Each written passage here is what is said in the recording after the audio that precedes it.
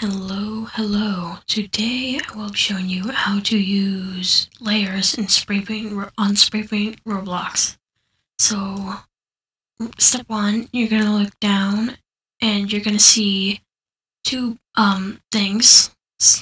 You probably already know if you're trying to use layers.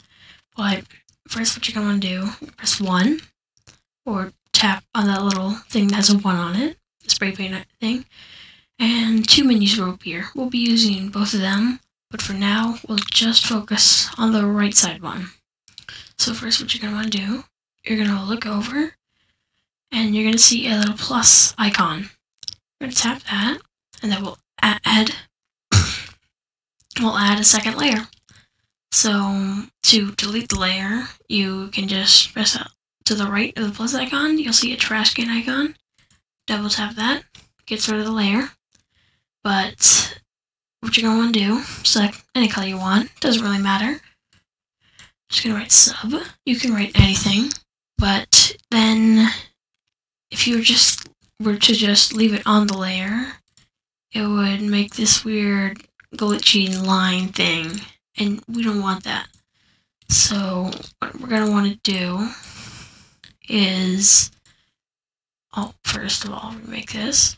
And what you're going to want to do, you're going to want to select your second layer.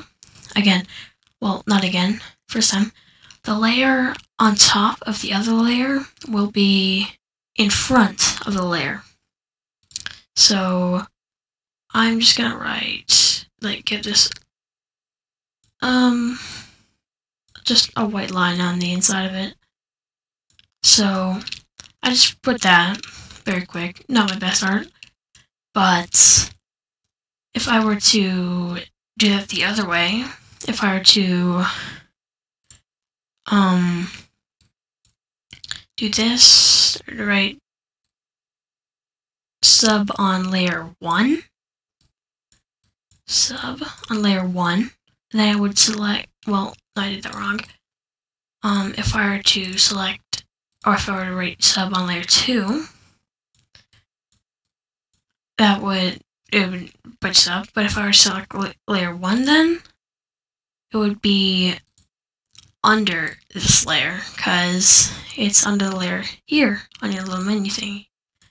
So that's not how you want it. So that's basically how you use layers on Spray Paint Roblox. Hope you enjoyed this tutorial, and bye.